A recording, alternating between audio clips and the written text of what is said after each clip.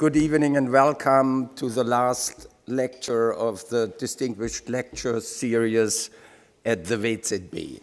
We heard during the year a lecture by economists, by sociologists, by a political scientist, and finally we have a, can I call you Bruce, a constitutionalist who is a lawyer by training, uh, but from time to time he cannot refrain to dive into the lowlands of politics. So he talks and writes about politics as well.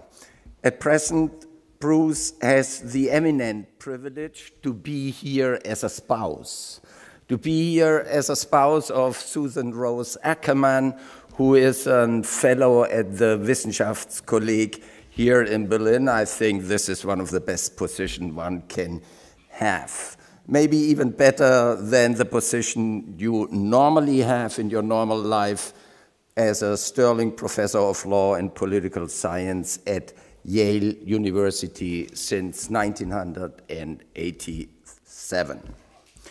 Before, he was, among others, a law clerk to a judge, Henry J. Friendly, at the U.S. Court of Appeals.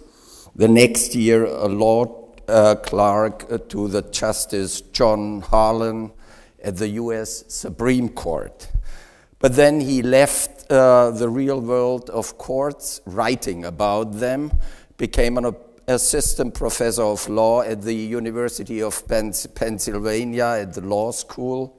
Later, he took on a position of law and public policy analysis at the University of Pennsylvania as well. And finally, in 1974, he became a professor of law at Yale University. Don't be afraid, not only because I'm anyway uh, threatened to lose my voice if I talk longer than five minutes. Uh, don't be afraid that I will present all the publications of Bruce Ackerman here 18 books translated in different languages, and his opus magnum is on We the People. Uh, the third volume just appeared, The Civil Rights Revolution, uh, and we are uh, curious about to know how many volumes we still have to expect.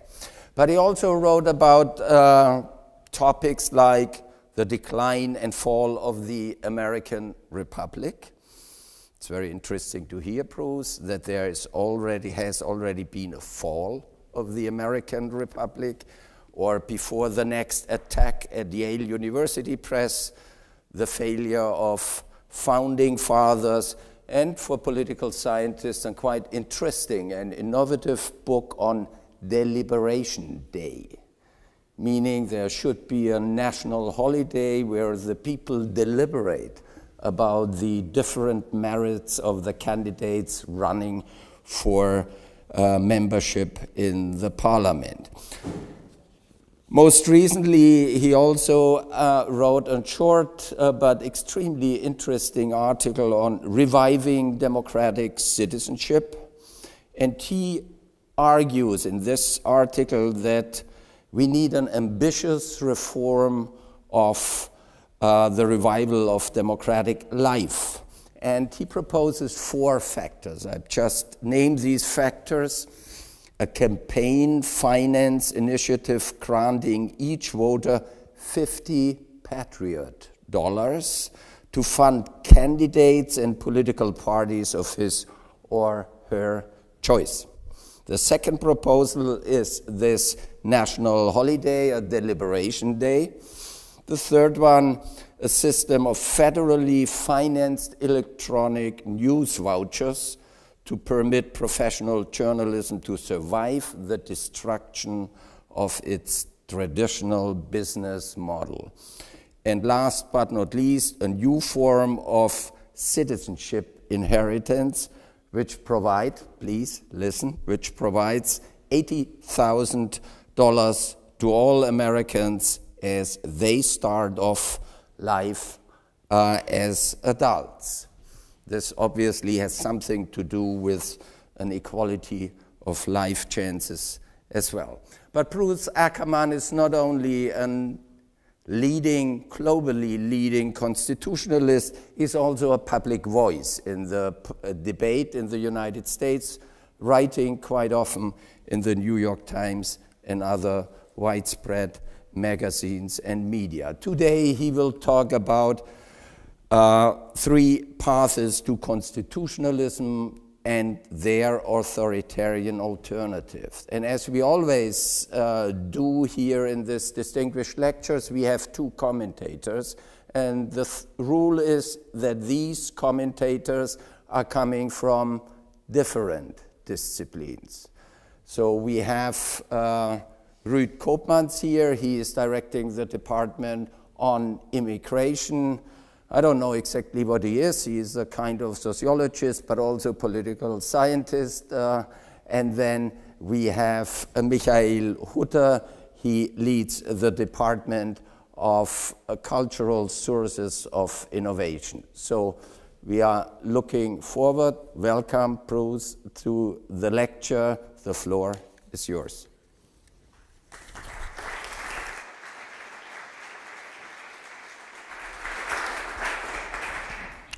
Second here.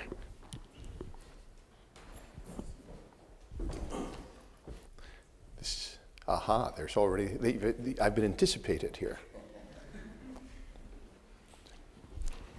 Good. Uh, the beginning of this lecture, uh, uh, really, uh, it's taken a long time for, for it to generate, uh, uh, was uh, when uh, my wife and I spent a year in Berlin uh, in 1991 uh, and 92. That time I was uh, a fellow at the Wissenschaftskolleg, uh, and I wrote a book um, called The Future of Liberal Revolution about the events in Eastern Europe. Um, and um, I was, you know, really, I really put my heart into it, and in four or five or six months, uh, there was a book, you know. And I showed it to Wolf Lepenies. He said, We have to translate it into German immediately.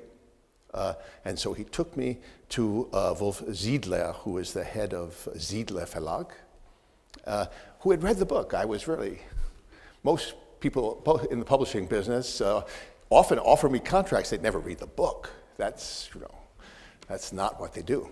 Um, uh, he read it. He said, you know, this is really very interesting, uh, Herr Professor Dr. Ackerman, or whatever. Uh, he was a gentleman, you know, I mean, really, of the old school. Um, I only have one, one condition for publishing this book. We need a new title. Revolution doesn't sell in Germany.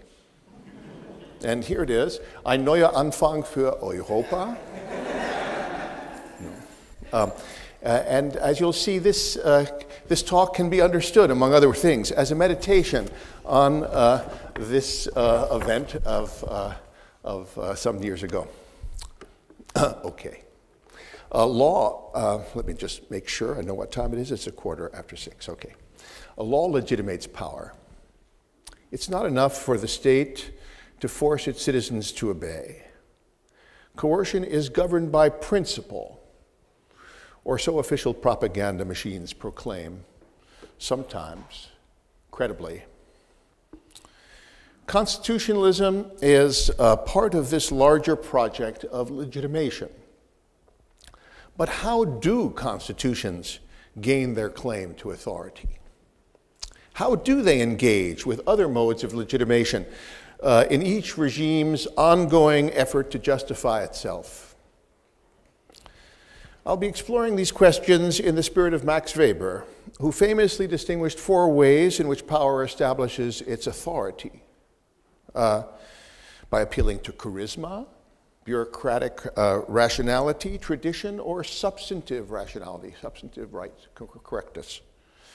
It's past uh, time to move beyond Weber's famous list I want to give constitutionalism a central place in a new series of ideal types that clarify the modes of authority uh, dominant in the 20th century, for the obvious reason that constitutionalism is one of the foundational ways that power justifies itself today. Uh, uh, and by constitutionalism, I should say, is for me, uh, is not a, a, synonym for liberal democracy or everything that you like or think is good. Um, uh, uh, not at all. Uh, it's the idea that law, in one way or another, constrains top decision makers. Okay. I'll begin by sketching three paths to constitutionalism, which serve as the foundation for my ideal types. The first path starts with the birth of modern understandings as they emerged during the American, French, and Latin American revolutions of the 18th century. Over the course of the next two centuries, the idea of revolutionary constitutionalism has swept the world. Under this scenario, a mobilized movement of revolutionary outsiders, defined by the system as outsiders, um, actually wins and uses the Constitution. Of course, most of the time they get crushed but they sometimes win. And they use the Constitution to elaborate the principles that motivated them in time one. We'll call the mobilization phase, the mass mobilization phase, time one, and the founding phase is at time two. Right? Um, and these constitutions contain principles and institutions which constrain authority they don't have to be liberal principles. There are liberal revolutionary constitutions and anti Enlightenment constitutions. The uh, fundamental constitution of the uh, uh, Islamic Republic of Iran was written in Paris by uh, a, a, professor at the Sorbonne. Um, and then was changed a good deal, but nonetheless is uh, demonstrably at work today in Iran. Um, the, um, uh, since the uh, revolutionary mobilization challenges the regime, uh, it often uh, gains power through violence, as in the case of the United States, the American, you know, George Washington. Who is George Washington? He is the Che Guevara. He's the, he's the first guerrilla leader who actually wins. That's all he is. He's, you know, he loses all the cities during the civil during the American Revolution. He's in a place called Valley Forge with a very small number of people. What is Valley Forge? Not any of the big cities. He's lost them, and he then makes little attacks. The uh, uh, uh, similarly uh, in uh, South Africa, another revolutionary constitutional scenario of the 20th century. Um, the, the African National Congress is a, in large measure for a generation, um, a military organization. Uh, uh, uh, which engages in massive guerrilla warfare. But sometimes, of course, during time one, um, I think of a case like uh, most notably India, to which we'll return, uh, uh, we see uh, uh, here we have a mass mobilization led by Gandhi for a generation. Then he passes it over, and the movement becomes something which is going to be very important in this uh, talk the idea of a movement party. Um, which then, in the 1930s, Gandhi resigns as head of the Congress Party and hands over the torch to Nehru, a very different fellow indeed, who wants to win elections, which he, which he, the British permit him to make a serious a stab at in 1935 when they passed the Government of India Act. so um, that's time one. And then, uh, after the uh, Second World War, the Congress Party wins. Right? And in, uh, uh, in 1950, uh, we have a constitution. Back, we'll go back there uh, soon enough. Um, while revolutionary constitutionalism has had many victories in the last two centuries, it's also had many defeats. Great Britain, for example, repudiated the French Revolution as a model for legitimate change during the Napoleonic War. Instead of allowing outsiders to gain control and then revolutionize the system, uh, it has developed an insider path to constitutional development. You know, 1832, the first Reform Act? Here are these screamers and yellers outside saying, you know, votes for everyone, votes, votes, votes, you know. Well, I'm not going to give you the gory details of how the Duke of Wellington uh, was pushed to one side by Earl Grey and all this, but nonetheless, the outsiders didn't take over. You see, the insiders said, hmm, you know, let these screamy, yelly people, we'll give them a strategic concession. There aren't these grand principles, that's screamy, yelly stuff. The insiders make prudent concessions and generate precedents, not abstract principles, um, which is, you know, you know in, in 1911, um, uh, when the king is threatening the House of Lords with packing the Lords because, because of another big, screamy, yelly thing going on, um, people are looking back to 1832. What actually happened? You know, was once somebody says one thing, there are lots of different interpretations of 1832, I assure you. Um, this is a very different brand of constitutionalism than, but it is constitutionalism. This idea they don't have constitutionalism in Britain is ridiculous. Uh, than, you know, the uh, American or Indian uh, or South African grand principles, which have mobilized millions of people behind them. Okay. Um, the British uh, system of insider constitutionalism, we'll call it, has had not only effect in, in uh, Britain, but a profound effect in many Commonwealth countries. The most notably are Canada, Australia, and, um, uh, and New Zealand. But we can find many uh, influences in what was formerly the British Empire and to some degree beyond. Um, so we have then two ideal types uh, outsider revolutions and insider evolutions. Um, there's a third type. See, you, if we're going to have ideal types, I don't want 111, please. I don't want one.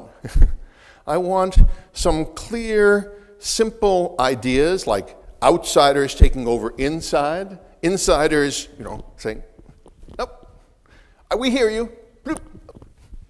Oh, I guess, oh, you know, the outsiders are satisfied, sort of, in a grumpy way, you know. Or at least they run out of steam. Um, the third model is the regime has a crisis, and insiders reach out to outside elites. Outside elites. But they don't, but neither insiders or outsiders appeal for popular mobilized support. Beautiful case is Franco's Spain. Franco is contemplating his death, as we all try not to do, but he does, and he um, says, You know, I'm going to appoint a king as my successor. Very odd, very fascinating juridical thing for a dictator to do, to appoint a king as his successor. He does that. Uh, he trains up Juan Carlos, and then he dies, and Juan Carlos disappoints him. He doesn't support the phalangist state. He, but he doesn't want to destroy it either.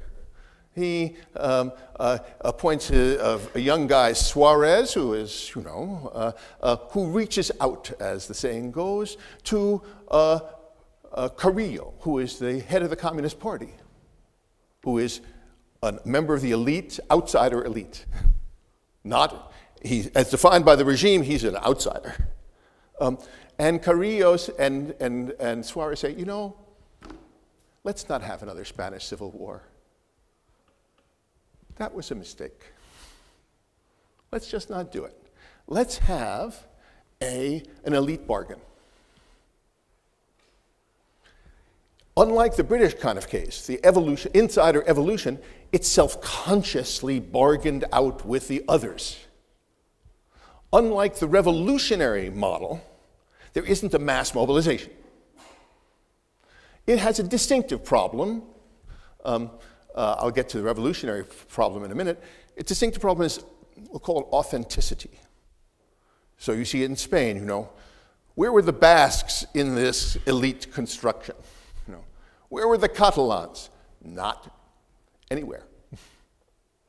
The Spanish Constitution is a, uh, uh, done by the elite so as to get into the European Union, so it has all the lots of Enlightenment features to it. It was uh, negotiated in, uh, in, in, mostly in secret and then presented to the voters a, as a fait accompli uh, in a referendum, to dramatically simplify. Uh, um, I'll be returning shortly to consider the distinctive authenticity problems posed by other uh, elite bargains, uh, uh, uh, the distinctive ones having to do with elite bargains between indigenous elites and military occupiers, which occur in, for example, in contemporary world, uh, places like, uh, um, well, Afghanistan, uh, Iraq, and not too successful. But of course, when we go back, we should look at, and we will look at um, post war uh, uh, Japan and Germany,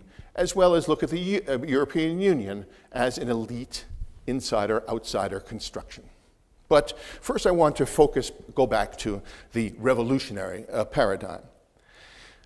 Uh, because one of the aims of my, this book, um, is to see, to, to uh, take away the, uh, uh, uh the model of the paradigmatic revolutionary state building that we inherited from the short 20th century, which is, of course, that the great, real, the real revolutions of the 20th uh, century were Lenin and Mao.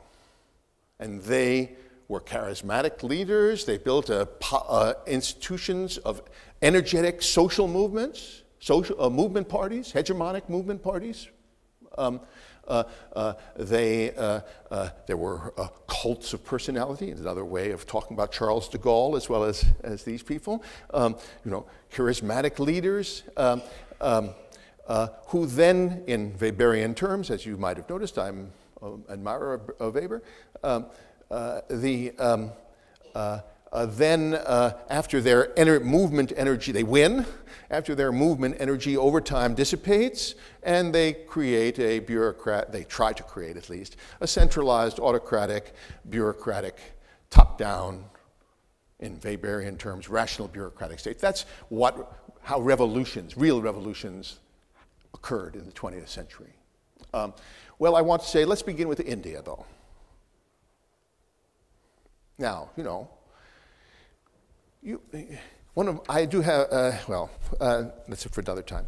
Um, uh, what are the preconditions for democracy? You name it, India does not have it. Right? Massive poverty. These efforts to, you know, link wealth with uh, constitutional democracy. Massive poverty. Massive ignorance illiteracy, va- vast illiteracy, right? No single language. Um, uh, uh, a caste system of social relations. And yet, for 65 years, corruption. And yet, for 65 years, this is the largest constitutional democracy in the world. How has this happened? Um, the, um, well, uh, it really is, know, uh, uh, the, um, they have, of course, a hegemonic party, just like Lenin has, and just like Mao has. It's the Congress Party of India, a hegemonic party. Mobilized you know, by Gandhi and then by Nehru, right? For generation. Uh, they don't have a, don't, it's not military, partly because of the Gandhi thing. That's an interesting point to notice, right? But they are hegemonic. Okay. Um, but, and it's only because of this massive, mobilized, revolutionary outsiders, you know, Nehru and, and Gandhi were in jail. Um, uh, they were enemies of the system. um, uh, the, um, uh, it's only because of the capacity that we can let me throw in. So I'm, I think that we should take respect the autonomy of the political. You see, the only way we can explain this really weird fact of India.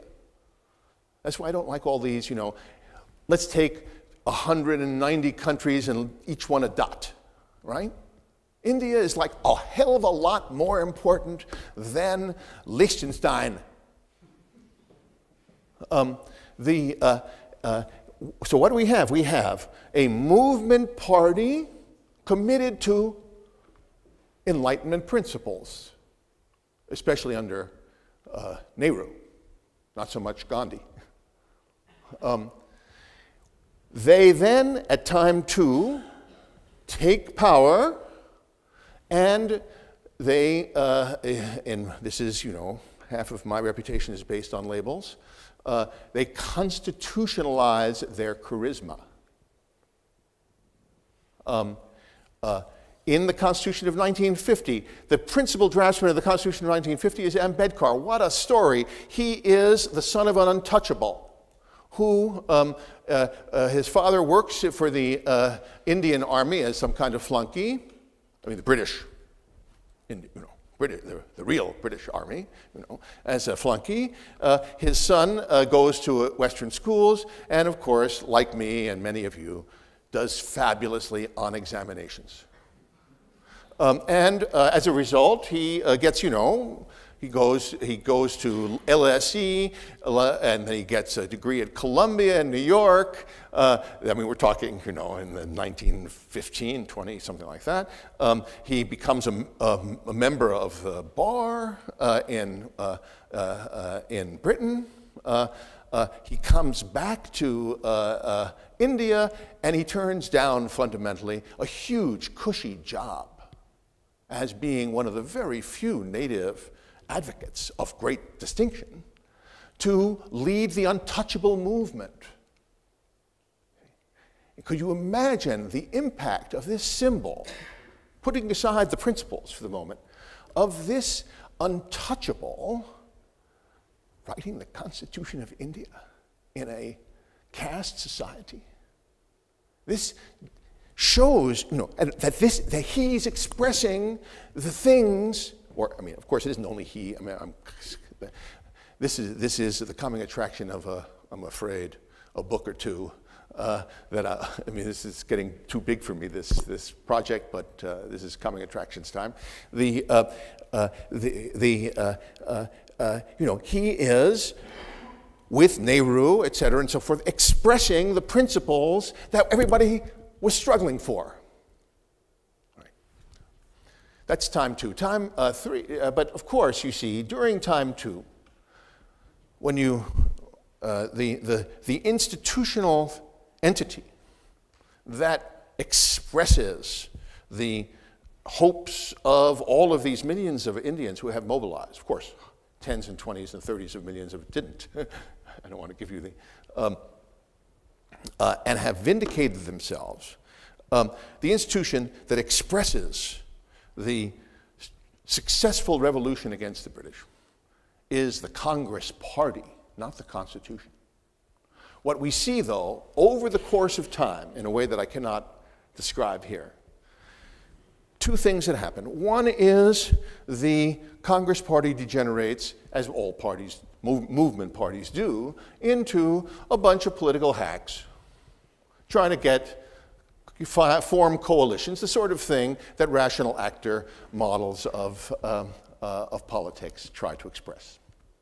Um, uh, and um, uh, meanwhile, the legal order gets more and more self confident. You see, in the beginning, these Brits, these British trained Indian lawyers, They don't know what this Constitution is about. How do you interpret the Constitution? Haven't the slightest clue. Over time, so we have these two arcs. One arc is the inevitable, this is the Weberian, disintegration of this movement activism.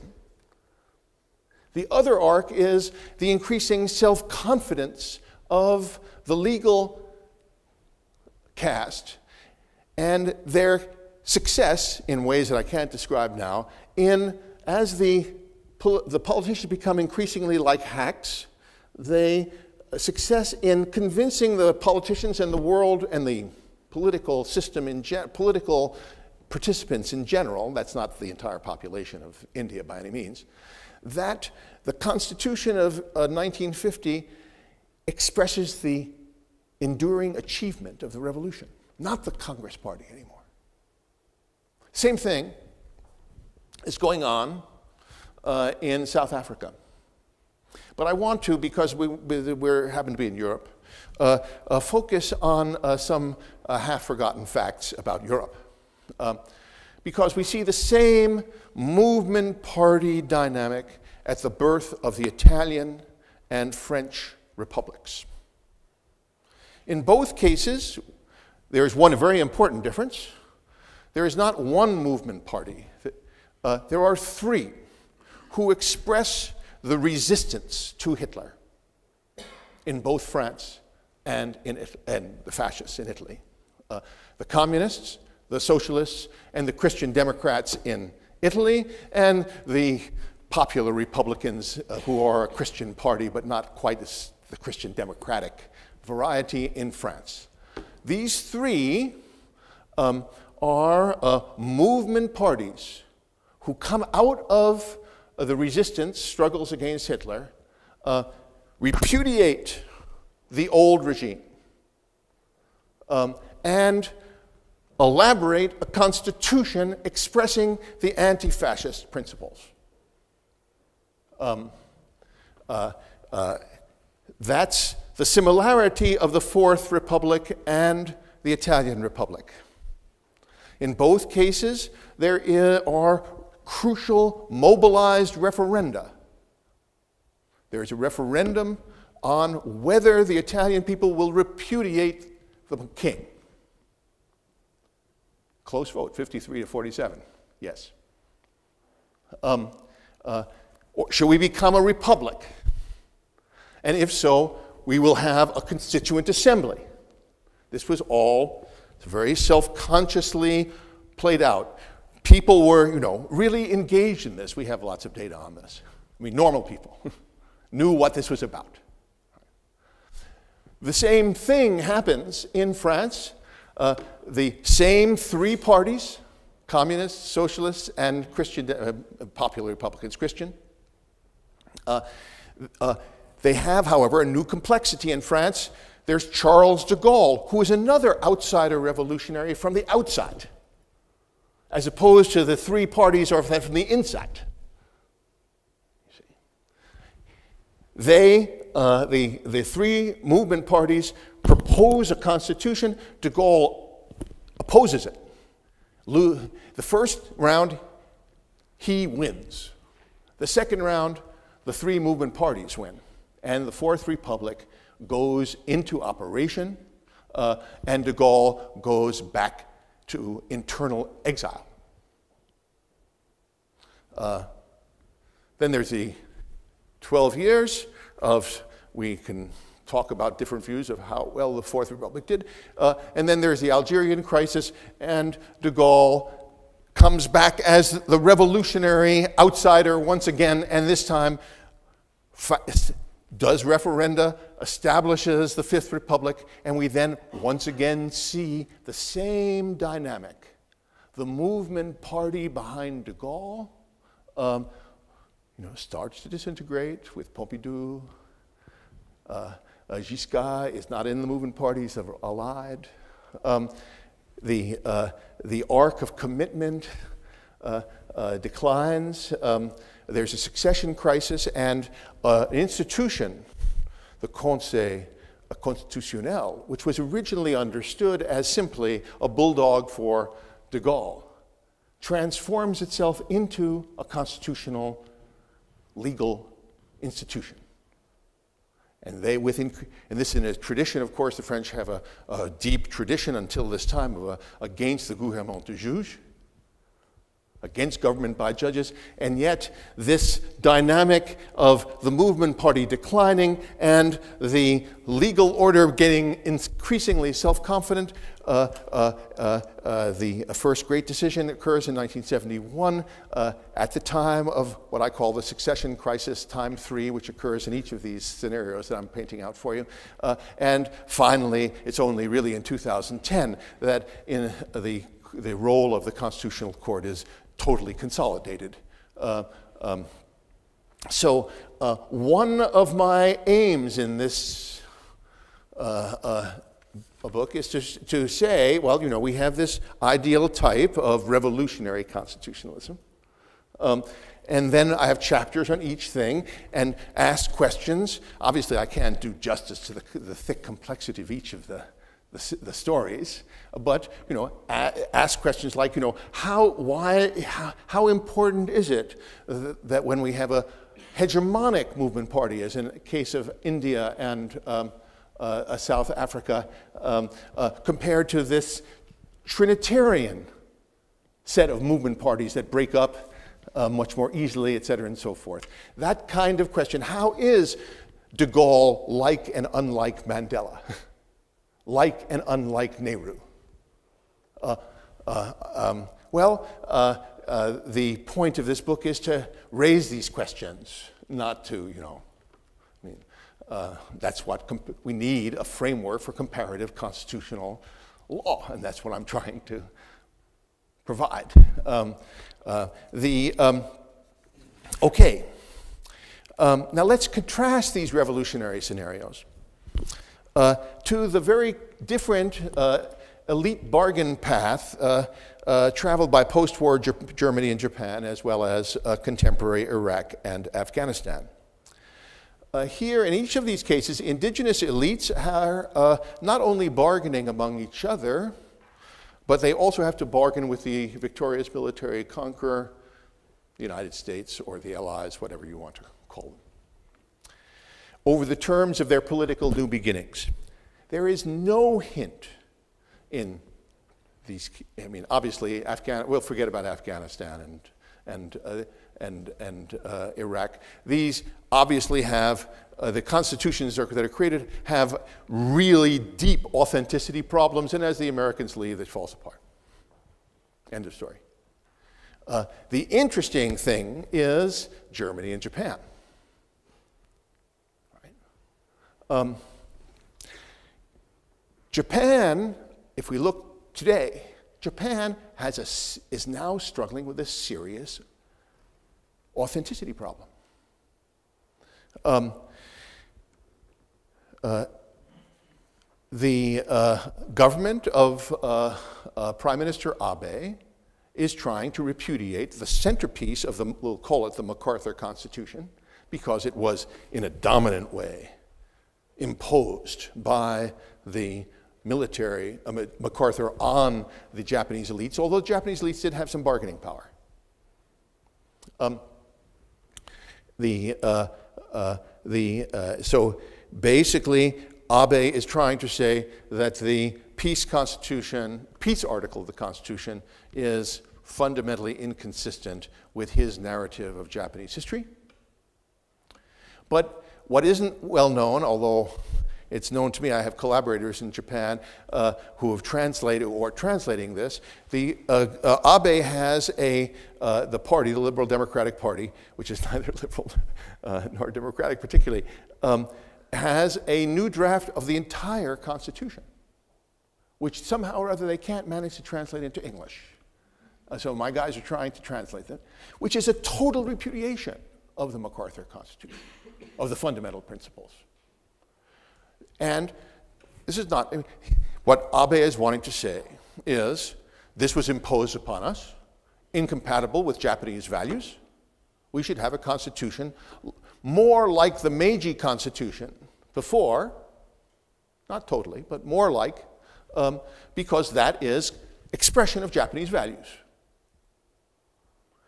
This is perfectly understandable. My point in this lecture, and Weber's point, is you know, this is an effort, to, now that I'm in Germany, to marry Max Weber with uh, Dilthey. I'm trying to use the ideal types and verstehen, you know? I'm not trying to judge here. I'm trying to understand what the di constitutional dynamics of legitimation look like in the real world. Um, the question that we see with the obvious failures of authenticity in the, in the recent American disaster cases. See, they should have learned something from the success of Germany and Japan. The fundamental lesson is don't destroy the bureaucracy as your first act. Duh. That's what they did in, in Iraq. Dopey. This is the state. This is talking about constitutionalism, right? You know, they destroyed the bureaucracy. They destroyed the army. Not smart. But any event, they were much smarter in the post-war period. Um, and um, uh, they didn't destroy the Japanese bureaucracy. Um, and they actually, the entire MacArthur Constitution is passed as a constitutional amendment to the Meiji Constitution by the, the elites, and that's what gave the elites a little bargaining power. Because they you know, they didn't have to do it. And, and MacArthur knew, no, it should be them who do it within their own constitutional processes. The real question, though, is uh, why don't we have an authenticity problem in Germany? That's the interesting question. Of course, the uh, process of writing the uh, Grundgesetz is not uh, as the Americans are and the Allies are not as obtrusive, but they are pretty obtrusive. Um, uh, the, um, uh, first, of course, they, they create the Länder governments, uh, which, which are, and they only approve three parties to uh, run for the Länder governments. Uh, um, and then they issue something called the London Protocol, which imposes conditions on the Länder government, Länder prime ministers or premiers or whatever they're called, when they go to the Parlamentarisches Rat, I want to emphasize two conditions. The first is that the Parlamentarisches Rat write a Verfassung. Nope, we're not going to do it. We're going to write a Grundgesetz. Because, um, and in the Schlussartikel of the Grundgesetz, it says a Verfassung is going to be written in when the East comes in because we're to, we, we, refuse to legitimate the imminent division of Germany into two, the DDR and the Federal Republic. This is a provisional document. That's what the Schlussartikel says. And second, so they disobey that. And second, very clearly, the London Protocols say the Verfassung, or if you insist, the uh, Grundgesetz, has to be approved in a referendum by the voters. And they refuse to do that. Partly because they're going to lose in Bavaria, or so they fear. Partly because the, Hitler had degraded the whole idea of folks' uh, referendum. Uh, Uh, uh, partly, uh, this is the difference between Stunde Null and a revolutionary scenario, my friend. Uh, uh, I'm going to, uh, um, there's a, Don Kommers, who is the, really the leading American senior scholar on German constitutional law and a fine person. I'm going to, he's writing a new book. I recommend it to you when, it, when it comes out. I want to, I'll just quote a, a passage here. Opinion polls showed that most West Germans had little interest in the proceedings of the Parliamentary Council. Only one in five Germans in the American zone expressed a serious interest in the Council's debates. A majority of the respondents were not even aware of the Parliamentary Council's existence. A majority. In May of 49, a survey found that two thirds of them were not sure, in May of 49, we're not sure what the basic law was. After all, he says, West German voters were denied the chance to approve uh, the Constitution, depriving them uh, of the knowledge they might have gained about its content had a popular campaign for ratification taken place. You see, at the same time, in France and Germany, in France and Italy, which were also devastated by the war. Of course, Germany worse than France and Italy, but they were all devastated. Right? People knew what was going on. because of revolution, because of this mobilization business, and they're, you know, uh, uh, in Germany, this is an elite construction, um, and uh, uh, and that and uh, and so um, uh, um, within this context, the Grund, some of the greatest formula of the Grundgesetz sound, if you will permit a German word, komisch. What does it mean for an ostentatiously provisional Grundgesetz to proclaim the eternal value of human dignity. What does it mean for the basic law to proclaim democracy to be an eternal value when its drafters refuse to submit it to a vote?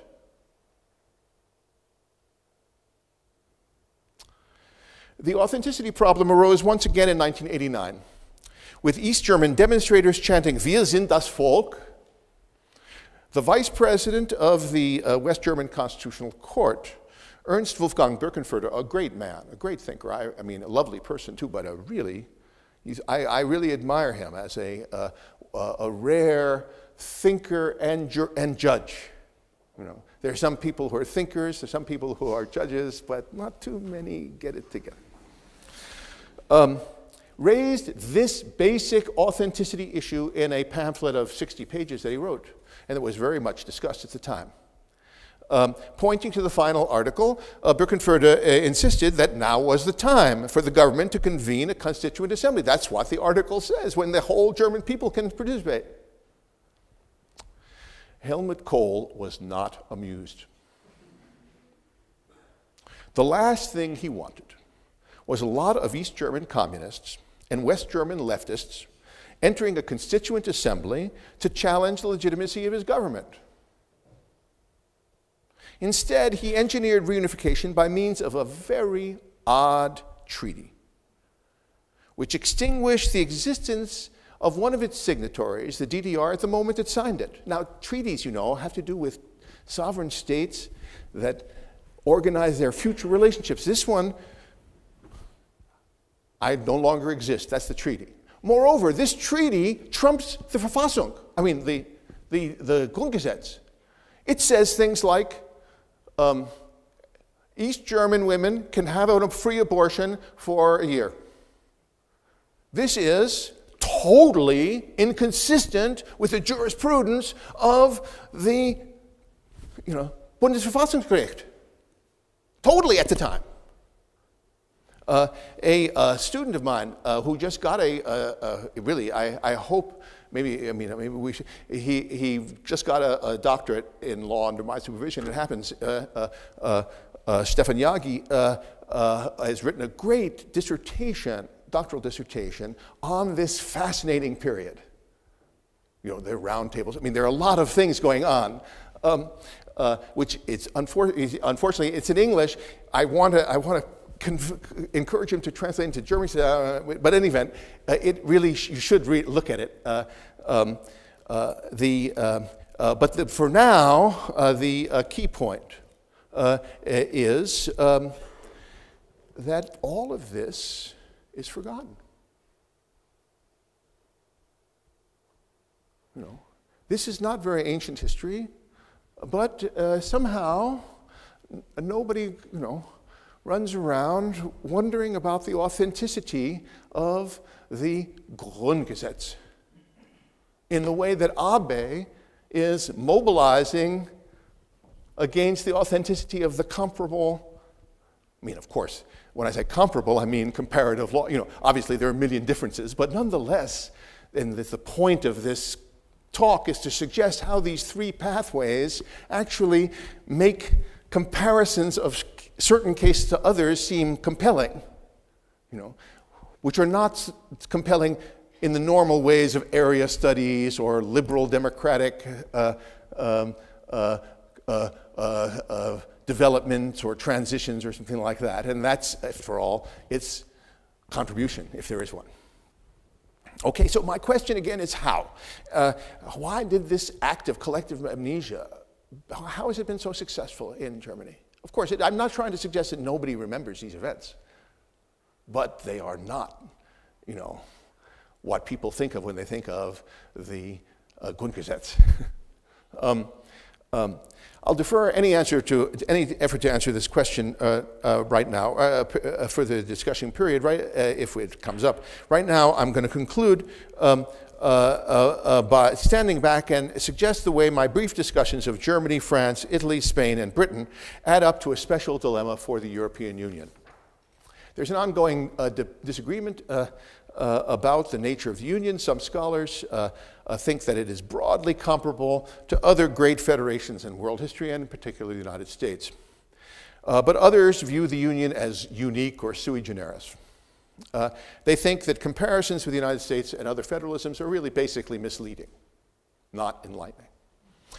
Uh, the discussion that my presentation suggests that I'm a I've been pushed into the uniqueness camp but for a unique reason, which is this. The leading nations of Europe come to the Union along different constitutional paths. Germany and Spain emerge from elite constitutional bargains. France and Italy from revolutionary breakthroughs by resistance outsiders. And Britain from the evolutionary adaptations of an entrenched establishment. Little wonder then that politicians in these countries and the general public as well disagree about the right way to go forward in the constitutional development of Europe because they have different paradigms in mind. It's the point of this book is to elaborate these paradigms in a way that makes them more self-conscious. But I, uh, uh, uh, the French and Italians were open to revolutionary appeals to the people of Europe uh, as was attempt, uh, attempted by Giscard. Notice the French name uh, at the Brussels Convention, which was the great effort to solve the de- democracy deficit through referenda. Imagine that the first referenda had been held in Germany um, rather than France. And imagine that the Germans, for all sorts of reasons, voted ja.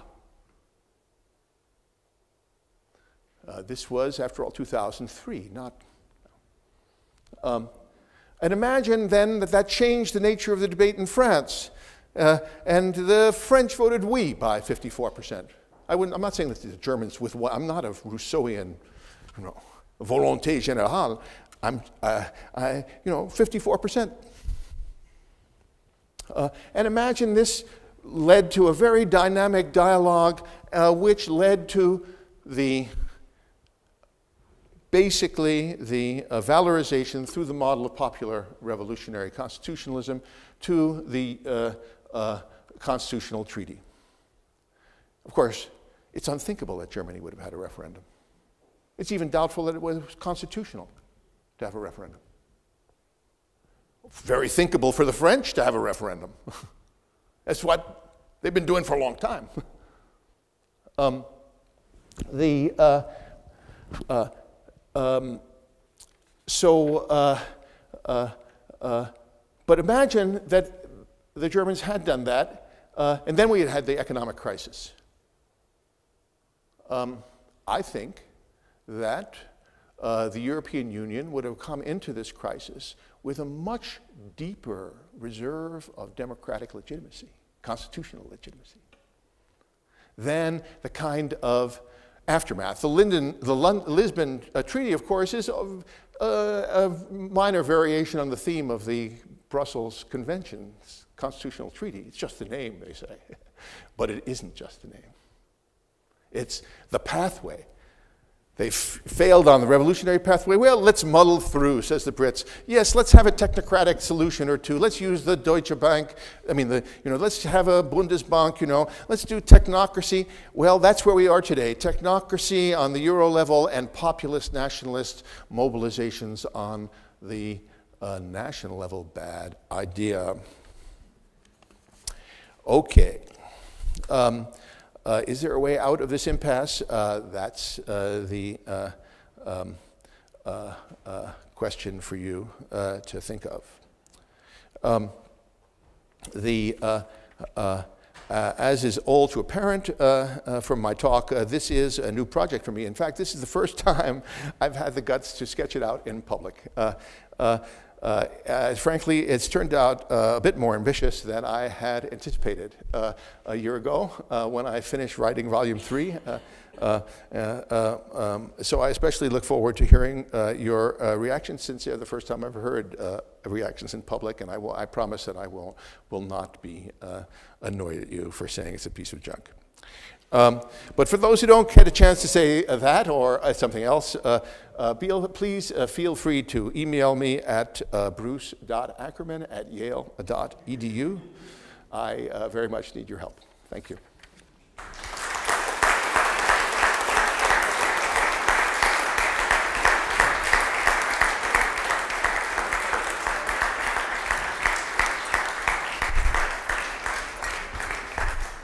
Sit down doesn't matter. I need a glass.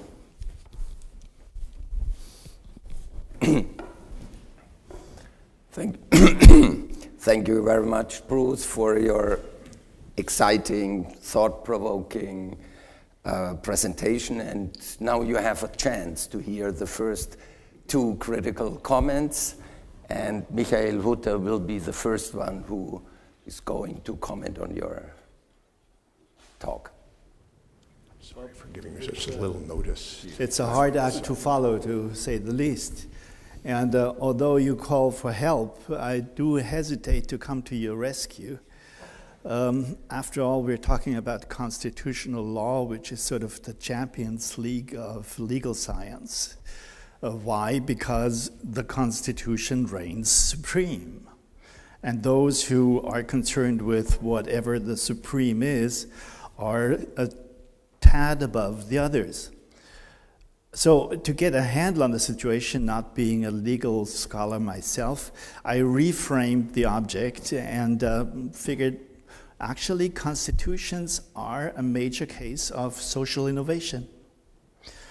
Uh, social innovation in the sense that uh, they are a collaborative effort. It takes a lot of people over a long time to even come up with the concept and put it into reality. And it's social also on the receiving side, on the impact side, because it changes social interaction uh, and people deal with each other differently than under other kinds of regimes. So uh, look, let's look back at the 18th century when the whole thing came up after a certain incubation period. First constitution was written in 1755 in Corsica. Then, soon later, 1776, came the United States of America. In Europe, most attempts failed in 1848, and France accomplished one in 1870. Germany had to wait till 1918. And if you look at, the, at Great Britain, which doesn't have a constitution up to now, I discovered that since 2009, they do have a Supreme Court. So finally, they're getting around. Now, according to Bruce Ackerman, uh, all these cases follow a pattern of establishment that starts with charismatic movement. And here I have a, some doubts about the way you use the term charisma. Um, you note that there are four Weberian modes of getting to power, and you would like to add a fifth one, constitutionalism. But then it is charismatic movement which somehow uh, drives constitutionalism. So I'm not quite clear on your notion of charisma and the relation between charisma and constitutionalism. Anyway, the charismatic movement leads to a new founding until the point when the Supreme Court confidently elaborates constitutional law. That's uh, time four, that's when things run smoothly. The innovation has been accomplished in a particular kind of world of worth, namely the world of the law. And then it can serve as sort of a legitimizing foundation for political interaction, among other things. And the political system, in turn, can influence legal positions depending on the nation, mm, in the US more so than in Germany, for instance. So the law, the constitution constrains. And today, there are hundreds of such constitutions in force around the globe.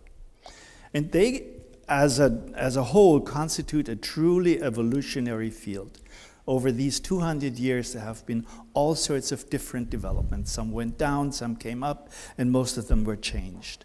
And this entire field, Bruce Ackerman declares to be his research laboratory.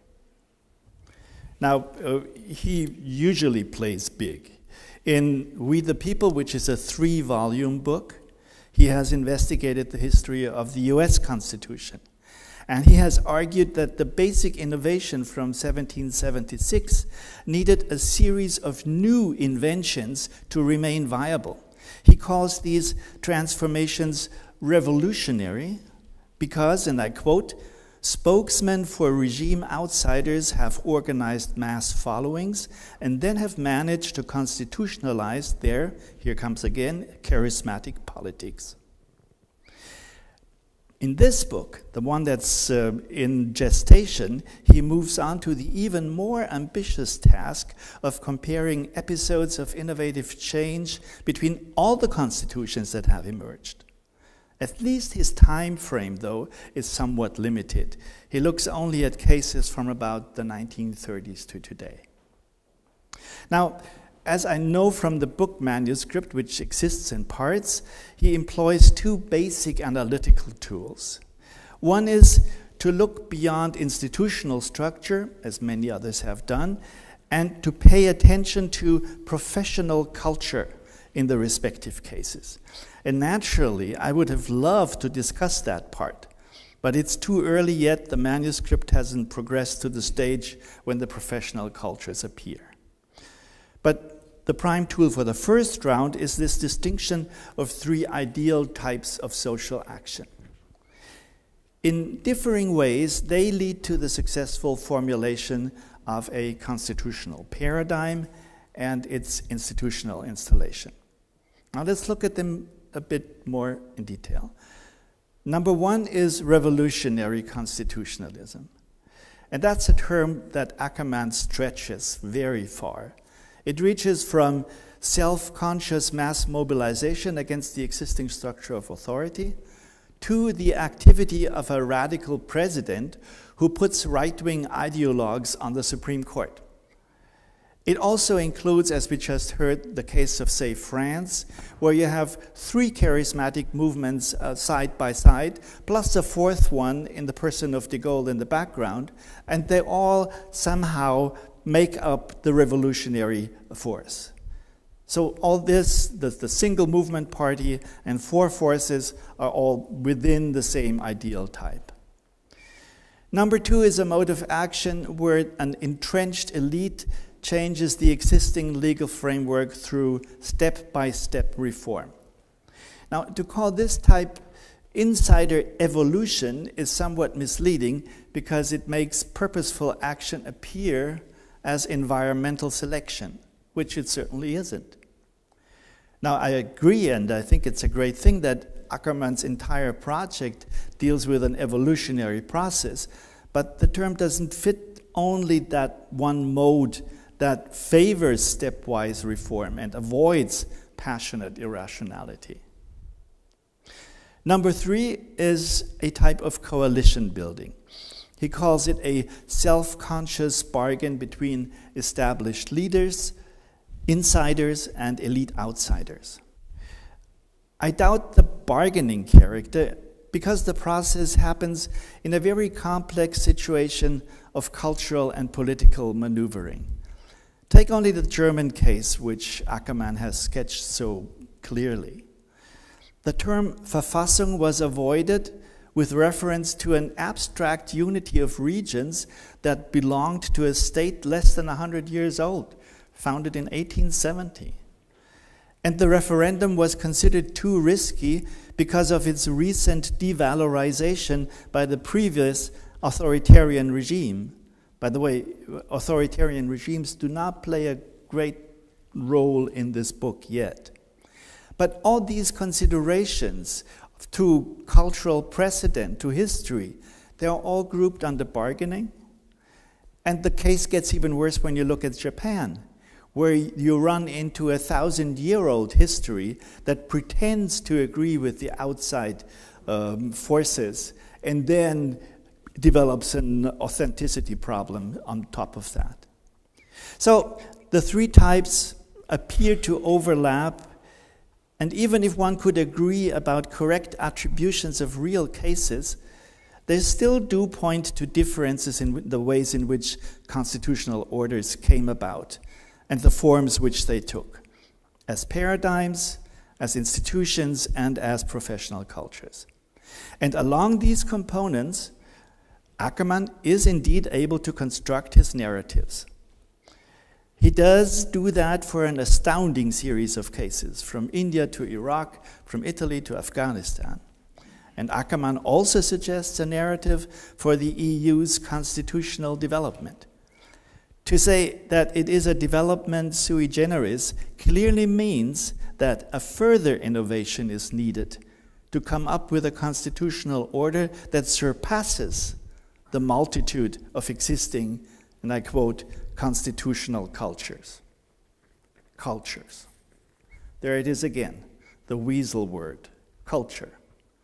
I've been chasing it for the past seven years myself. I hope, Bruce, that you will find a way to use that term consciously and effectively in explaining how constitutional law succeeds in renewing itself. Thank, thank you very much, uh, Michael. We will have immediately the second one, and so you have sometimes to reflect the harsh criticism, and uh, I'm sure uh, Ruud will add something as well. Yeah, thanks a lot, Bruce, for a, a very ins inspiring talk, and I'm, I'm, I'm, sure it is going to be a, a marvelous book. Uh, but as you say, you're, you're still at, at the beginning, and I think you know, there are, are, a few, I mean, it raises a lot of questions. Some of the questions I had after reading your stuff, then other questions that came hearing you talk, and one can, one, one notices that you're in, in a thinking process yourself still. So I hope we can make some, uh, some small contributions to that process. So let me start with um, your point of departure. Constitution, constitutionalism, uh, you say, is a fundamental way in which power justifies itself. Uh, and it's basically the idea that law constrains top decision, decision makers. And you, make, you made a point of it to emphasize that constitutionalism is not the same as liberal democracy, and it's also not the same as uh, the rule of law. Um, the latter point uh, you make in, in the written version I've seen uh, with reference to enlightened despots, for instance, where you say, well, there's a rule of law there, but certainly not liberal um, democracy. I wonder whether one can say that there is rule of law in a system where the rule of law doesn't apply to the ruler, but because basically that's what enlightened despotism is. You can say, okay, in these systems there was rule of law for everyone else than the despot, but the, you know the, the um, but that's, that's an aside. So, and liberal, liberal democracy, you pointed briefly to the case of, uh, of Iran as an example of what then, I guess, in your view, is a constitutionalist regime, but also certainly not a, a liberal uh, democracy. And what I think you should do more than you've done so far is actually make this point much clearer that you're not talking about just dem democratization and the imposition of the rule of law, because that would not be as original as the claim that you want to make, and it would also force you much more to engage with uh, the huge literature on transitions to democracy, etc., uh, than you do at present. So, if you want to make the case that constitutionalism is something different, you should not pick or at least not focus so much on the cases that you focused on now, which are all constitutionalist, liberal democracies under the rule of law, where it's impossible to make that distinction. So then I would challenge you to indeed take the case of Iran, or for my part, the Soviet Union, or Mexico, or whatever, or current Russia. I mean, there are all these countries that do have constitutions. Are they constitutional regimes or not? But then why not? I mean, that's where you have to make the demarcation, I think, much clearer and pick critical cases where you can say, well, there we have uh, a case that is a case of constitutionalism, but clearly not a liberal democracy or clearly not rule of law or whatever. So, and there's also a second case of countries that then becomes uh, interesting. You briefly referred to the UK and said, well, you know, it's ridiculous when people say that that's not a constitutionalist regime.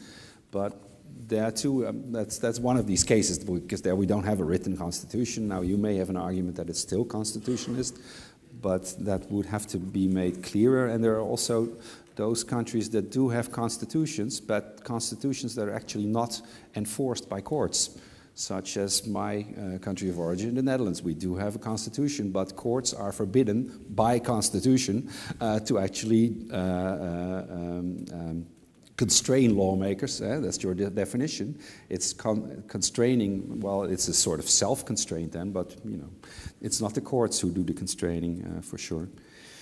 Um, and then, yeah, my next point is, is about the classification you make. So there's this uh, revolutionary outsider scenario, there's the evolutionary insider one, and then there is this sort of bargaining between uh, insider and outsider elites.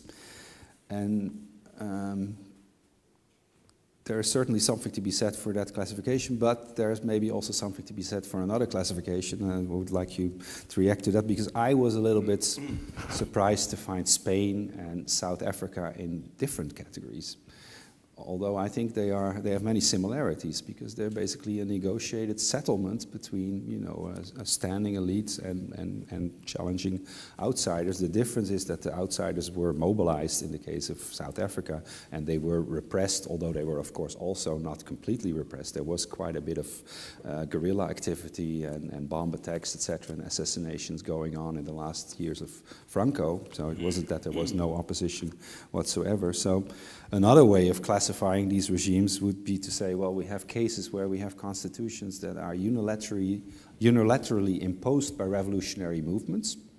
Um, that would be, uh, for instance, uh, the, the Indian case. Um, and then we have cases of negotiated settlement, and that would then include both South Africa and Spain. And then we might also have the case of that would be largely the same as your uh, um, evolutionary insider one, which is basically a preemptive move by insiders who do see, uh, of course, an outside challenge, but before it becomes danger, as dangerous uh, to actually become a, a, revolutionary threat, they make reforms to sort of uh, prevent that. And I think to me that that classification makes more sense because the aim of the constitution is i think a, a different one in the sort of unilateral imposition scenario because there the, what the constitution is supposed to do is basically to enshrine the revolutionary principles. And I think that would also allow you then to bring on board sort of Iran or Mexico or whatever, the non-liberal cases. That's also the Indian case.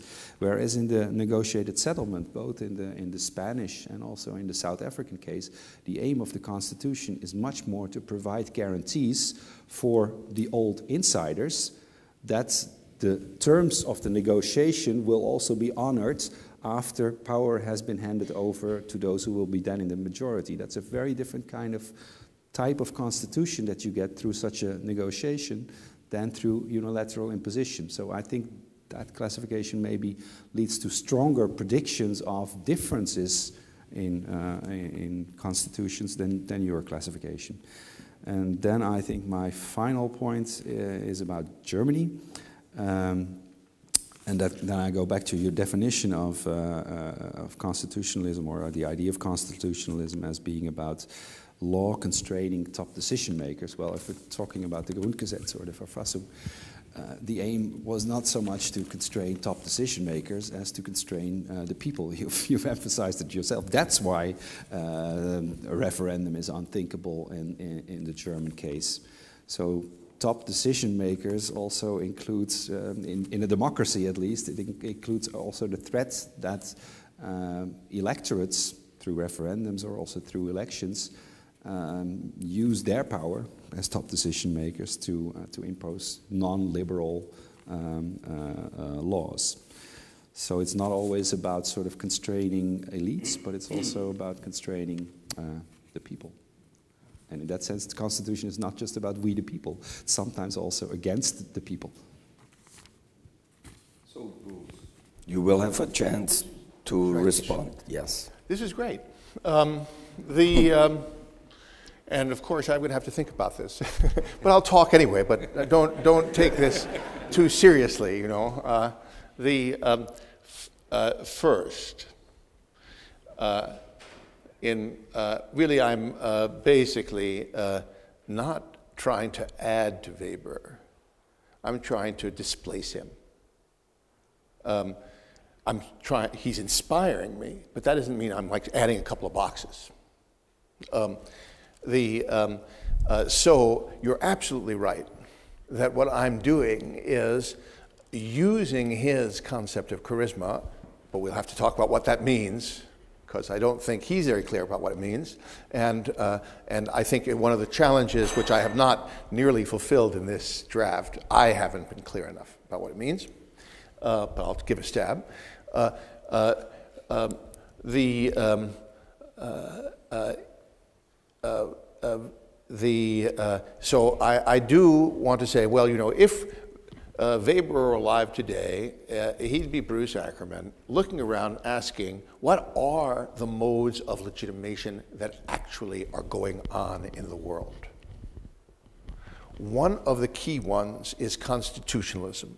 Another one is democracy, which analytically, in my mind, as you're well aware, and you were just making the point, sometimes constitutionalism tries to constrain the people. That's what elitist constitutionalism might well do. Um, the, uh, so they are two different modes of legitimation. Another uh, mode of legitimation today is science, knowledge. You know, um, so, you know, when these people say, you know, the earth uh, isn't warming, you know, they might be democratic, it might be constitutional to pass a statute uh, declaring that uh, uh the earth isn't warming, and therefore we should abolish the Environmental Protection Agency. I mean, who knows what the Republicans are going to do next time? Um, it still would be illegitimate from this other very dominant mode of legitimation in the world today. So, uh, while traditional legitimation, not so much. Natural law, you see, the Weberian temptation is to look upon constitutionalism as a form of natural law. Uh, that's the fourth one. Weber doesn't think much of it, but, uh, you know, Zweckrationalität.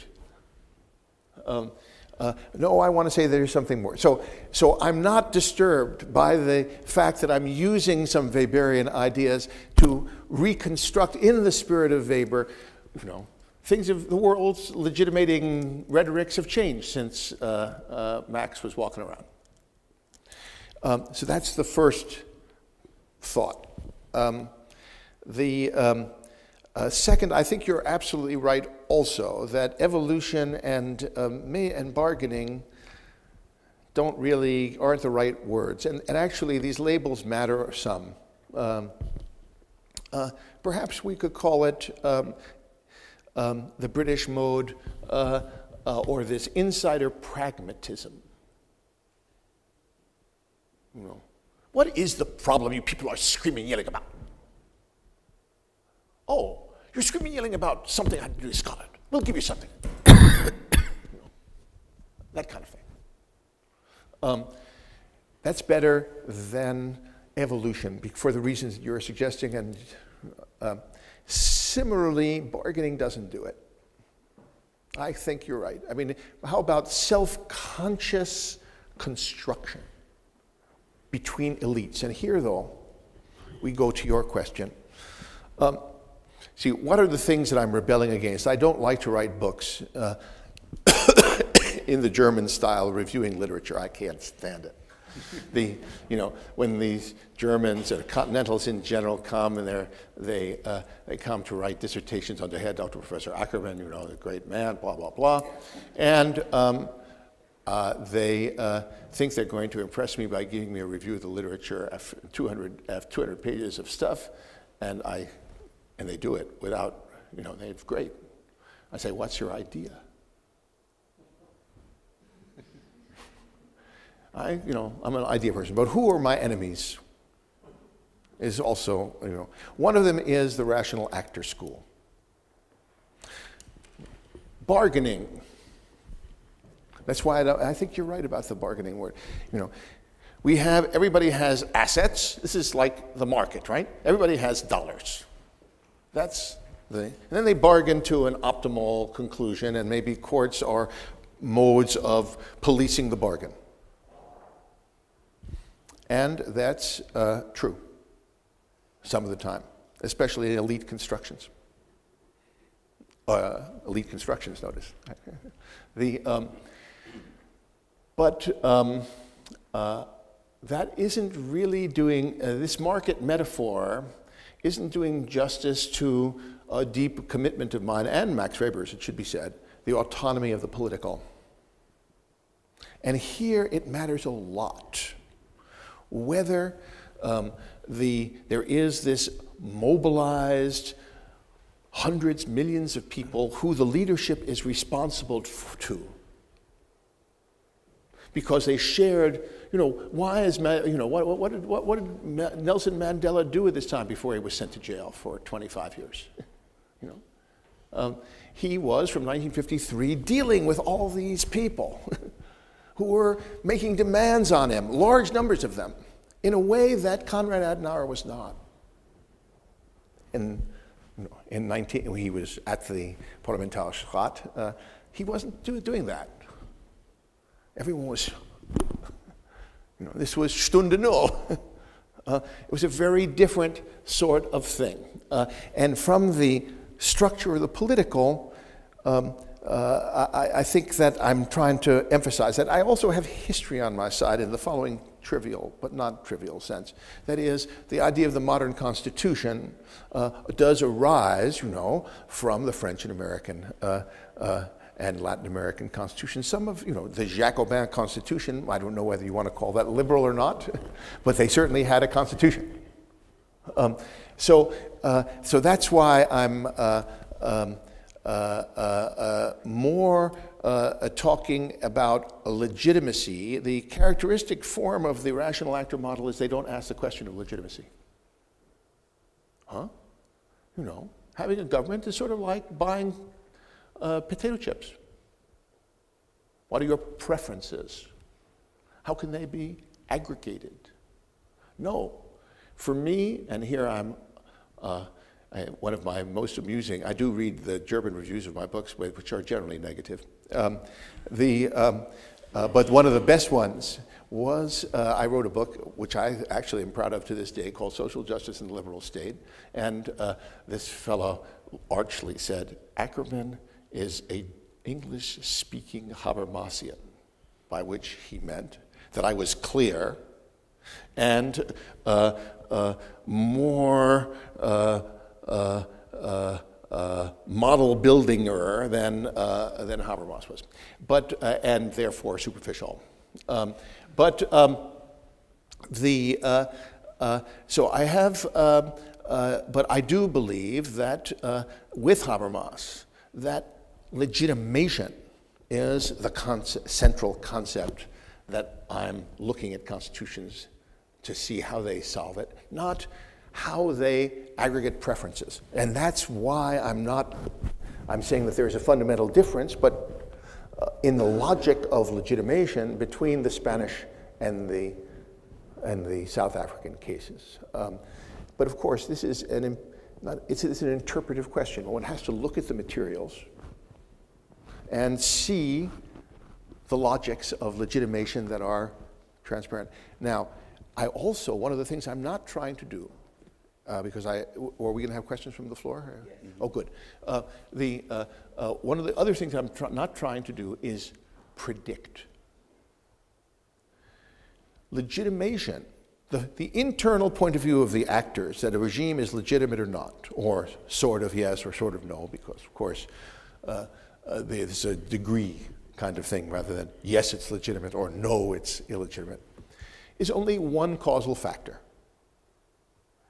Um, among many other causal factors which account for whether a regime succeeds in governing for 50 years or not. We could have a non constitutional regime. I mean, after all, the Soviet Union lived for how many years? 80? Um, 70, something like that. Um, uh, that's a long time. Um, that's stable. Especially, you know, they, they, there are millions of people die, and all, oh, look at all the things that the Soviet Union. Uh, it wasn't, however, at uh, uh, any time a constitutional state in the sense that the piece of paper, Stalin's constitution, lovely document of 1935, actually constrained behavior. Okay.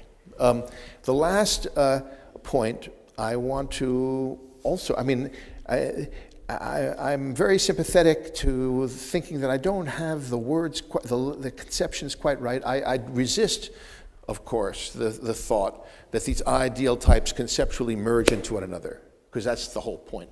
The ideal type should be quite distinct. Of course, some historic, that's why they're ideal types. A history can of a particular political history will contain different elements of different ideal types. I'm not committed to the idea that uh, uh, the French only have a revolutionary legitimation.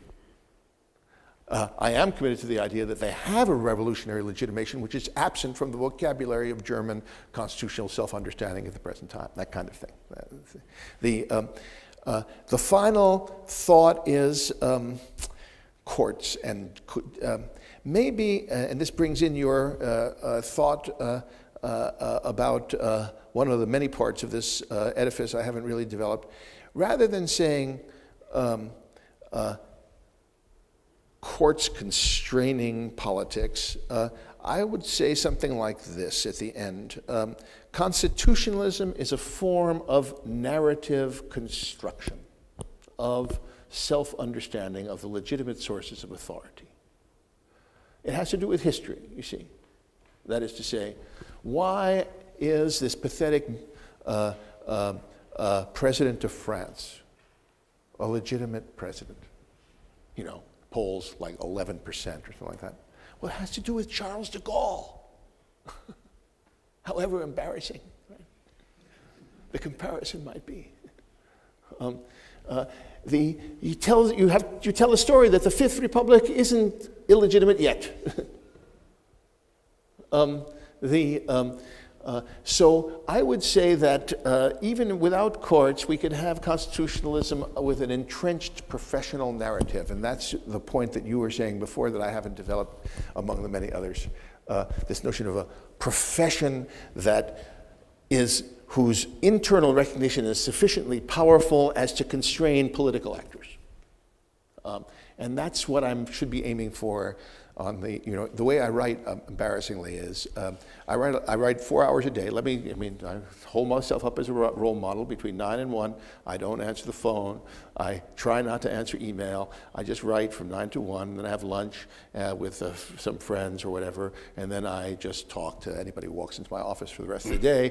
Um, the, uh, and I do it about 340 days a year. The, uh, and I do not have outlines, as is painfully apparent. I just write a first draft and I throw it away, write a second draft, and they, I publish it when it's, I get tired. Um, but, um, uh, but I, think, I thank you very much uh, because I, we're, I mean, we're, uh, I'm, you'll see the influence of this conversation. May I add, add, one question before I completely lose my voice? Uh, it is not clear to me what makes a constitution democratic. Is it a set of normative rules, of core principles, which has to be written down in the Constitution, or is it a sequence of procedural steps to legitimate the drafting and passing of the Constitution? Or is it the day to day acceptance of the demos, the people, what Jürgen Habermas and Dolf Sternberger have uh, coined as Verfassungspatriotismus? And if there is a lack of one, can it be compensated by the other one? Because you mentioned the French Fourth Republic. They probably had the most formidable democratic sequence of steps to drafting and passing the Constitution. And it was the most unstable constitution we have seen in post war Europe. It collapsed already in 58. Well, what, you see, I've done several things in my all too long career.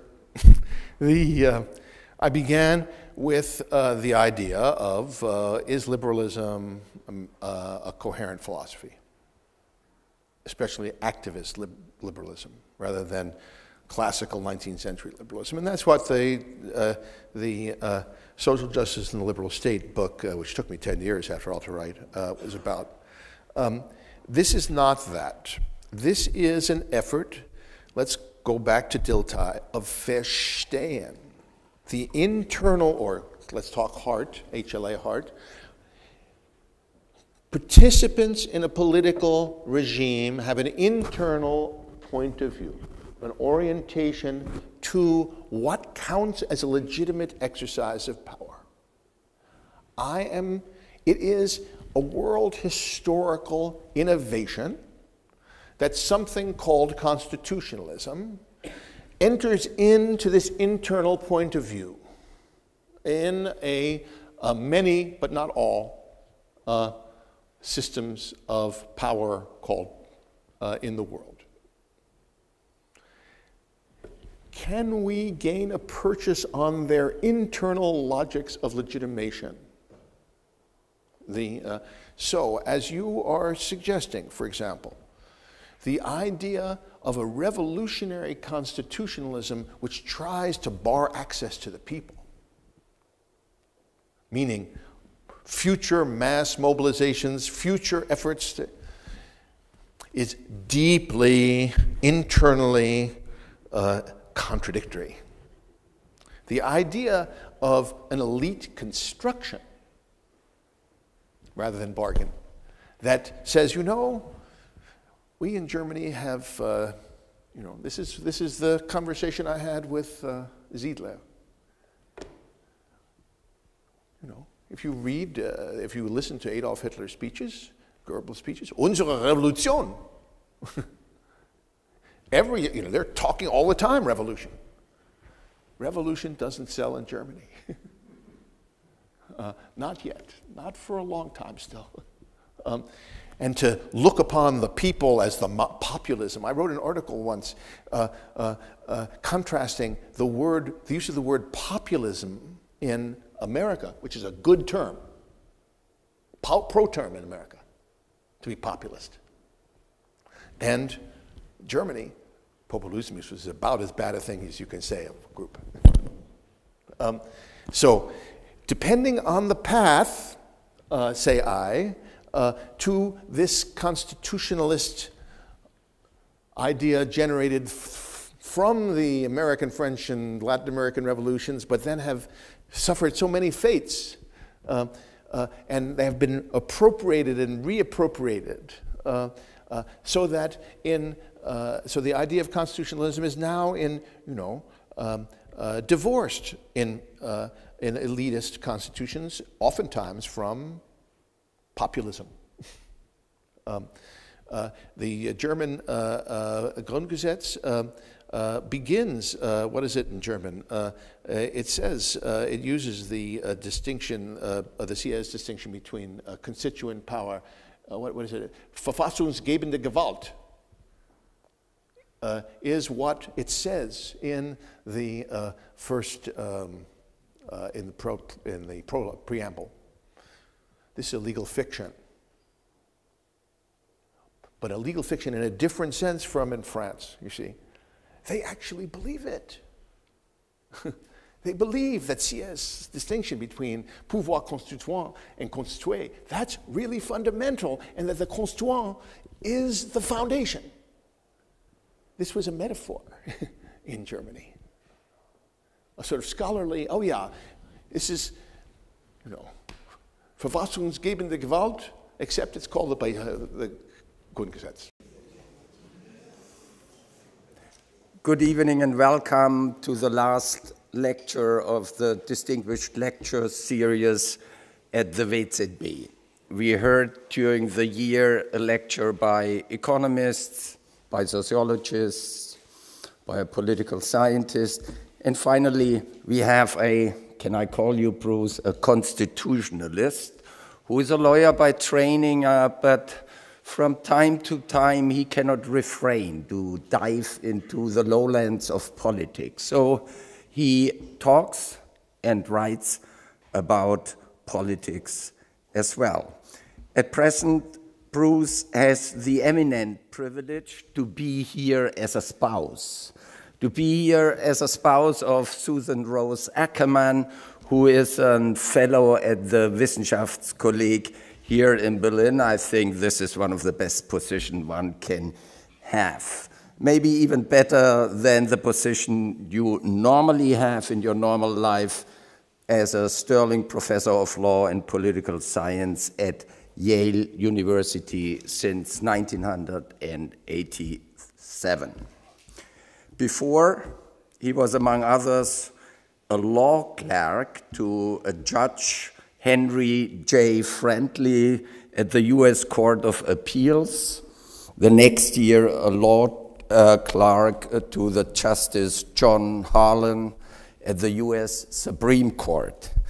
But then he left uh, the real world of courts, writing about them, became an assistant professor of law at the University of Pennsylvania at the law school.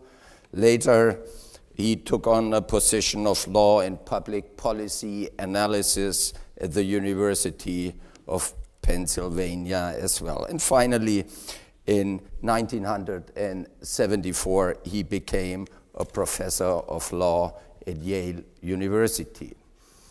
Don't be afraid, not only because I'm anyway uh, threatened to lose my voice if I talk longer than five minutes.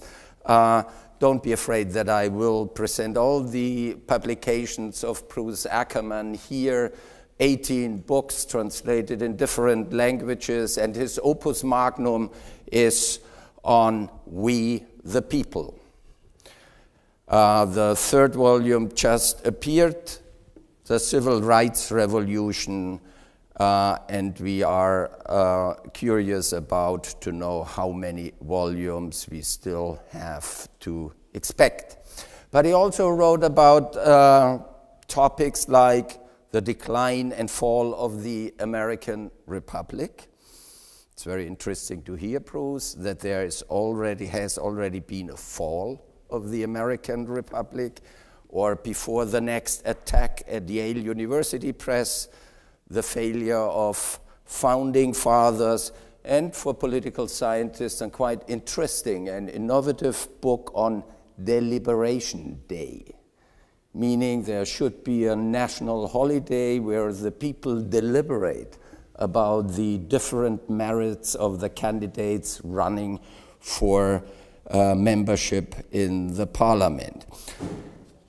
Most recently, he also uh, wrote a short uh, but extremely interesting article on reviving democratic citizenship. And he argues in this article that we need an ambitious reform of uh, the revival of democratic life.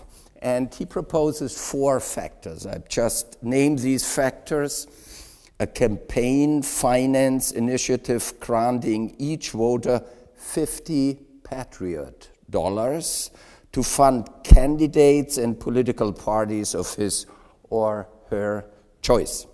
The second proposal is this national holiday, a deliberation day. The third one, a system of federally financed electronic news vouchers to permit professional journalism to survive the destruction of its traditional business model. And last but not least, a new form of citizenship inheritance, which provide, please listen, which provides $80,000 to all Americans as they start off life uh, as adults. This obviously has something to do with an equality of life chances as well. But Bruce Ackerman, I think, is good. Um, uh, uh, eh, not at all. Uh, it's the idea that law, in one way or another, constrains top decision makers. Okay. I'll begin by sketching three paths to constitutionalism, which serve as the foundation for my ideal types. The first path starts with the birth of modern understandings as they emerged during the American, French, and Latin American revolutions of the 18th century. Over the course of the next two centuries, the idea of revolutionary constitutionalism has swept the world.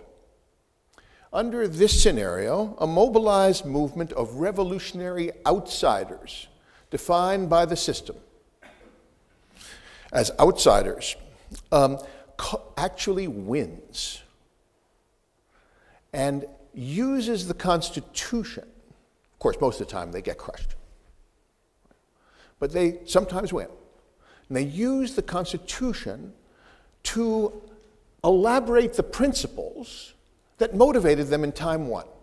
We'll call the mobilization phase, the mass mobilization phase, time one, and the founding phase is at time two. Right? Um, and these constitutions contain principles and institutions which constrain authority. They don't have to be liberal principles. There are liberal revolutionary constitutions and anti Enlightenment constitutions. The uh, fundamental constitution of the uh, uh Islamic Republic of Iran was written in Paris by uh, a, a, professor at the Sorbonne. Um, and then was changed a good deal, but nonetheless is demonstrably at work today in Iran.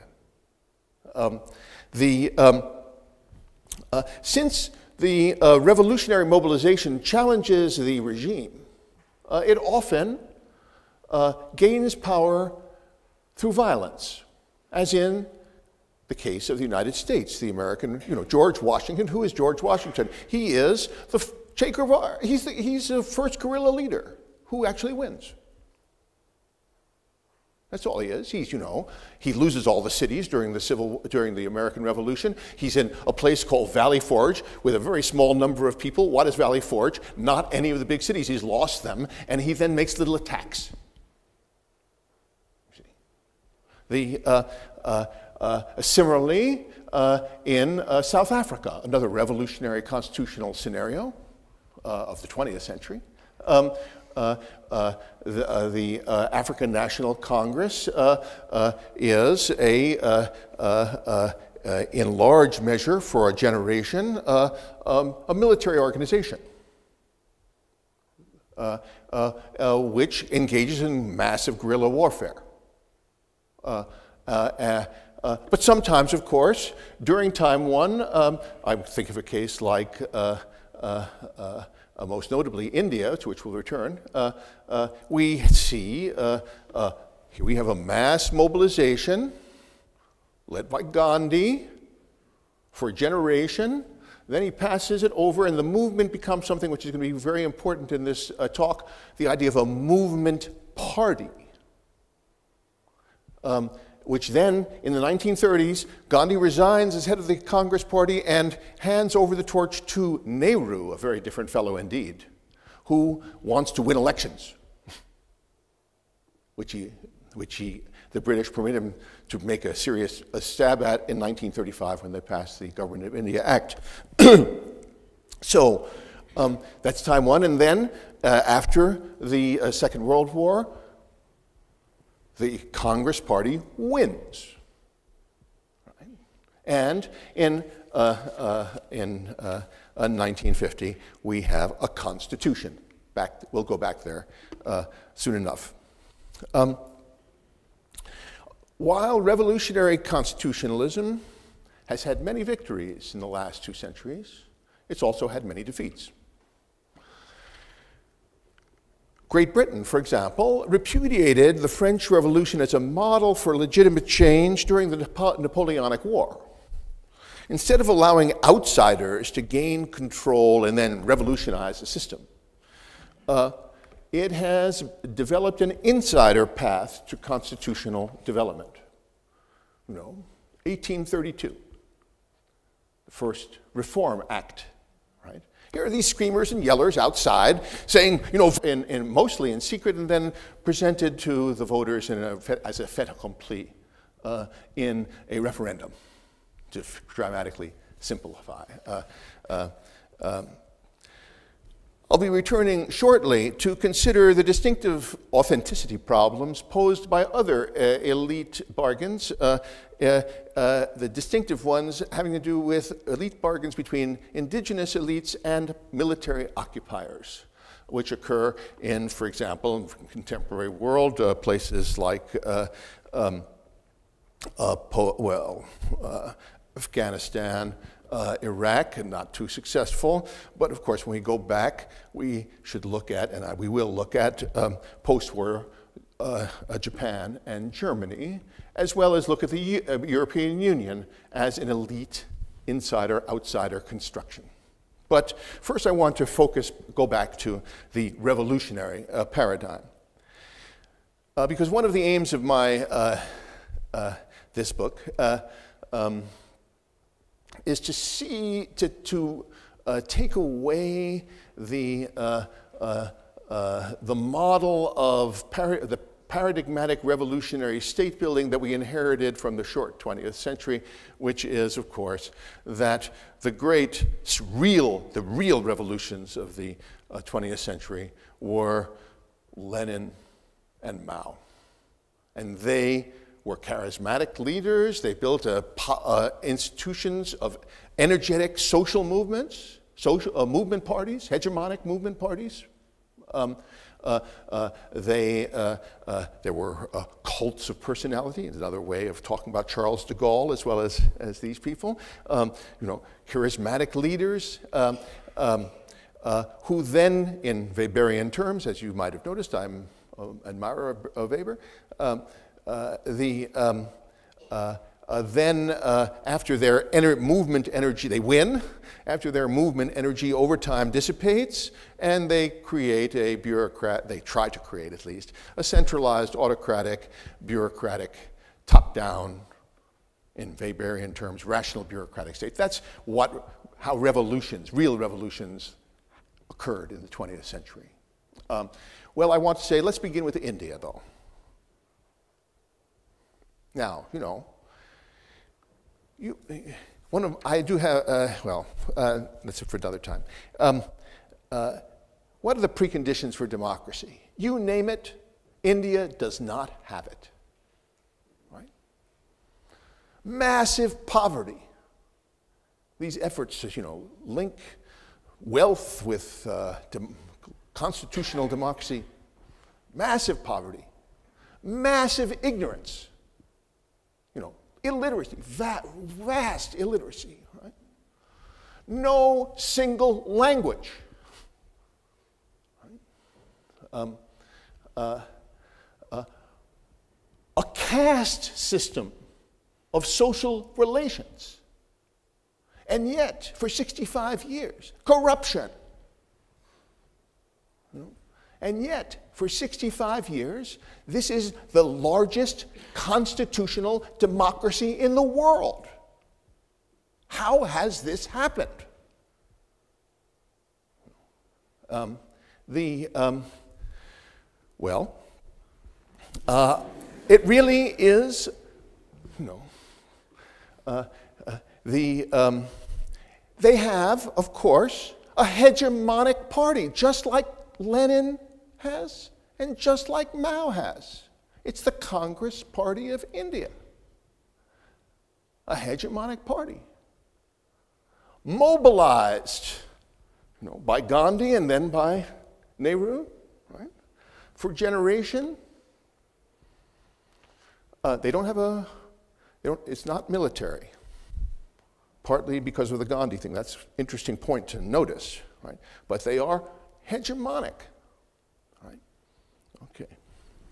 Um, but, and it's only because of this massive, mobilized, revolutionary outsiders.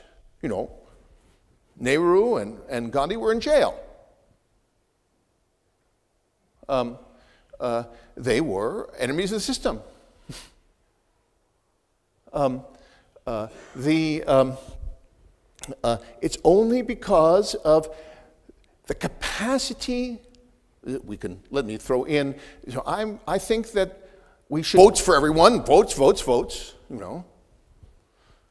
Well, I'm not going to give you the gory details of how the Duke of Wellington uh, was pushed to one side by Earl Grey and all this, but nonetheless, the outsiders didn't take over.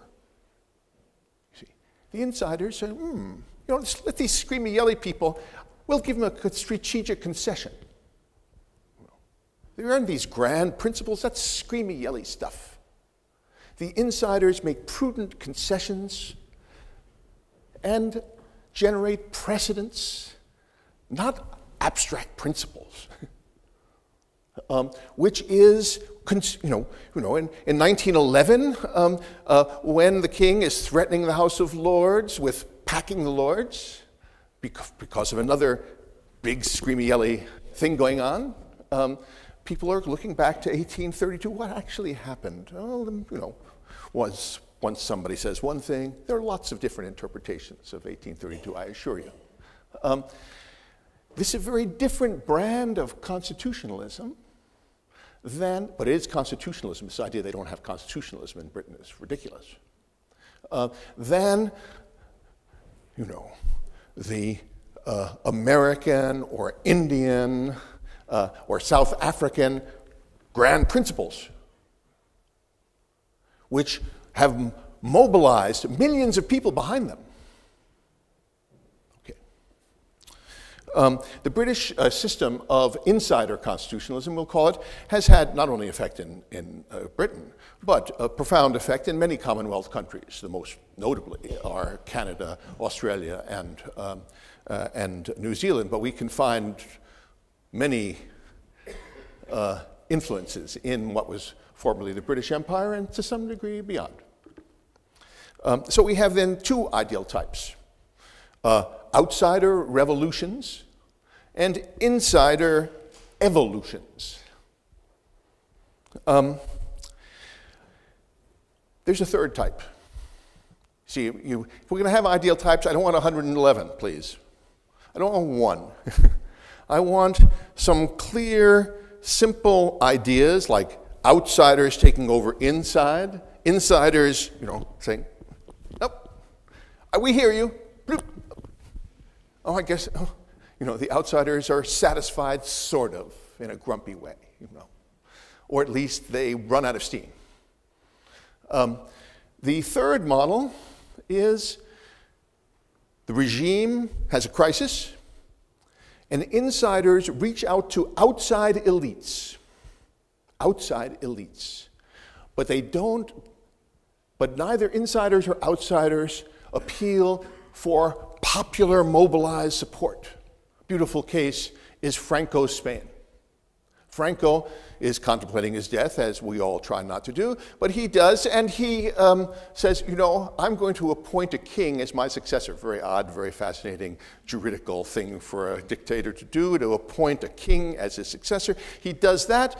Uh, he trains up Juan Carlos, and then he dies, and Juan Carlos disappoints him. He doesn't support the phalangist state. He but he doesn't want to destroy it either. He um, uh, appoints a, a, young guy, Suarez, who is, you know, uh, uh, who reaches out, as the saying goes, to uh, uh, Carrillo, who is the head of the Communist Party, who is a member of the elite, outsider elite. Not, he, as defined by the regime, he's an outsider. Um, and Carrillos and, and, and Suarez say, you know, let's not have another Spanish Civil War. That was a mistake. Let's just not do it. Let's have a, an elite bargain. Unlike the British kind of case, the evolution, insider evolution, it self consciously bargained out with the others. Unlike the revolutionary model, there isn't a mass mobilization. It has a distinctive problem. Um, uh, I'll get to the revolutionary problem in a minute. Its distinctive problem is, we'll call it authenticity. So you see it in Spain, you know. Where were the Basques in this elite construction?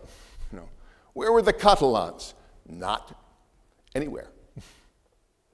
The Spanish Constitution is a, uh, uh, done by the elite so as to get into the European Union. So it has all the lots of Enlightenment features to it. It was uh, negotiated in uh, Parliament. It's not only a leading, globally leading constitutionalist, is also a public voice in the uh, debate in the United States, writing quite often in the New York Times and other widespread magazines and media. Today he will talk about uh, three paths to constitutionalism and their authoritarian alternatives. And as we always uh, do here in this distinguished lectures, we have two commentators.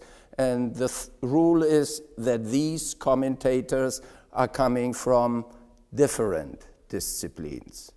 So we have uh, Ruud Koopmans here. He is directing the department on immigration.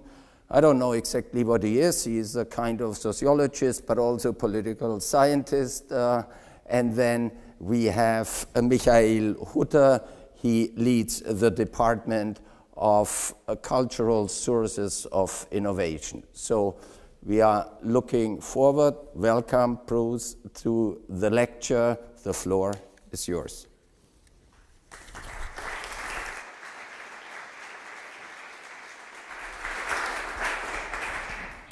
Second here.